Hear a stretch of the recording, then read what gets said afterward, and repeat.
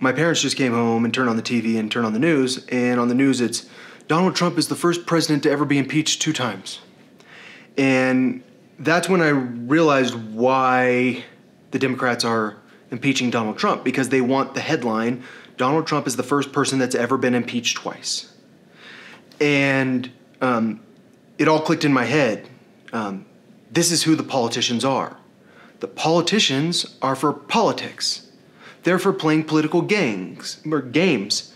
They're for um, theater versus actually doing something with their time.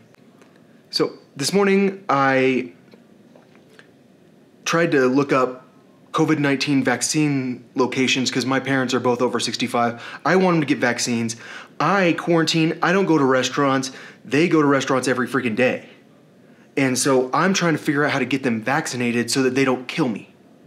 And I went online, and when I looked for COVID vaccination centers, you know what's the first website I got to? Buy insurance. Here, here, here, buy some insurance from me.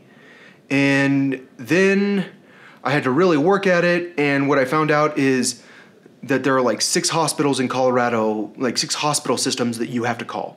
And then maybe you can get a COVID 19 vaccine. Because my mom said she's gonna get it from King Soopers, which, by the way, I think all health clinics inside of grocery stores should be shut down.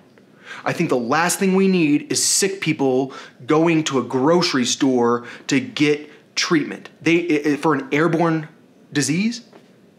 No, I don't I don't think you should be breathing in my grocery store if you if you're sick. I think that are like we need to spread people out. Like we don't need centralized locations where people can get sick. And it's bad enough that we all go to the grocery store. The grocery stores should be like national security locations. Like we should really be working with these grocery store employees to let to get people tested.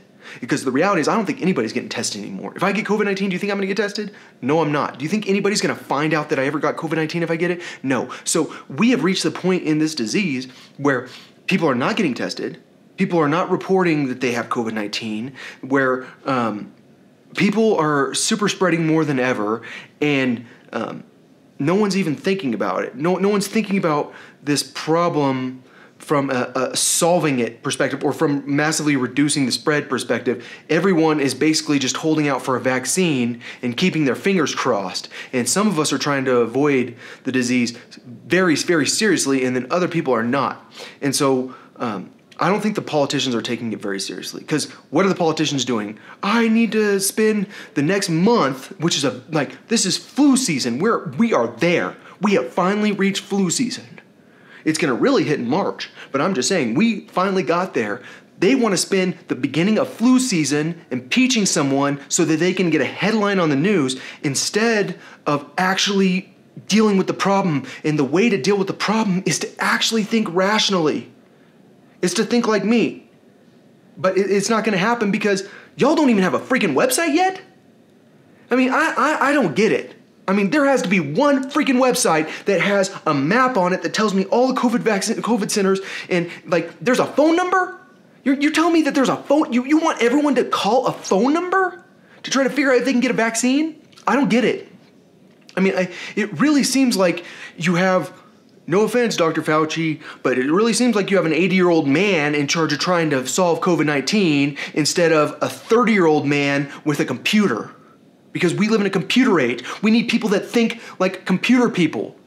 We got a bunch of people that can't, like, I'm telling you, someone that's 38, 39, 40 years old, they are never gonna be as good at computers as someone that's 35. Because I can't, like, because people my age came in with Windows 3.1 or Windows 4.1 or wi- Windows um, XP. And people that are older didn't. They, they, they had typewriters in high school or in, in, in, in elementary school. Uh, and I'm just saying, um, people in their 40s are, are automatically like way, way, way worse at computers. They don't type as fast as us. So, um, unfortunately for Americans, we've got a bunch of 80 year olds that want to play political theater theater because they're like, yeah, we're going to beat them in the next election. And um, I think that's bad for our entire country and the entire world because the entire world's affected by us.